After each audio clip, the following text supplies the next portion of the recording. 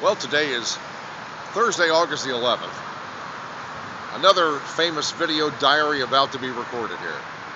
I'm standing in front of a car that I just test drove before when I almost burst into flames. The actual temperature is about 99 degrees right now in greater Cincinnati with a heat index at about 105. As I looked down at my shoes, I thought I saw flames coming out of the tip of my shoes.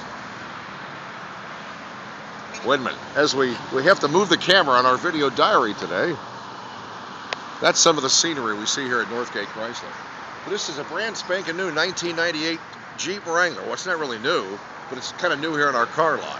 It Has 159,000 miles, and we just need a little under $7,000 for you to own this nice looking Wrangler that is a five speed and it drives like a champ. Again, partly cloudy sky, a sunshiny Thursday in Cincinnati, August the 11th, 2011. As we sign off from Northgate Chrysler.